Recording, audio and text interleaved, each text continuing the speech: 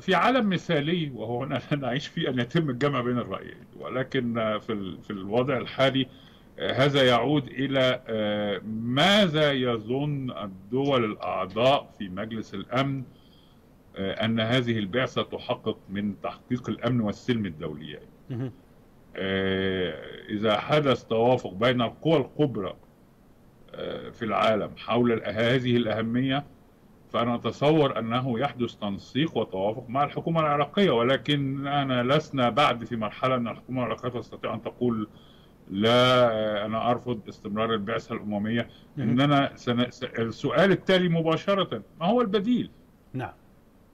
الأمم المتحدة تقوم بدور حيوي في في في جهات كثيرة سواء في ملف التعليم الأطفال اليونيسف ليهم أيادي بيضاء سواء في ملفات الصحة العامة ورأينا في في يعني في أعقاب جائحة الكورونا أننا يجب أن أن يكون هناك يعني بارادايم إطار فكري جديد نعم. للتعامل مع الأوبئة التي من المنتظر أن ليست تكون الأخيرة ولكننا على بداية طريق جديد. هناك النواحي التنموية التنمية نعم. المستدامة وتحقيق أهداف التنمية الشاملة.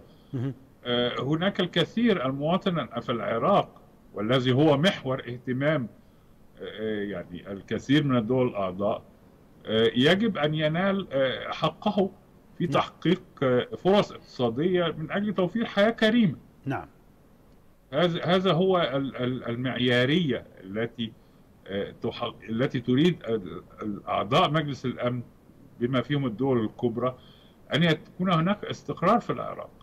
نحن في ظرف دولي حالي لا يحتمل صراعات جديدة أن تندلع وخاصة في منطقة الشرق الأوسط وغرب آسيا.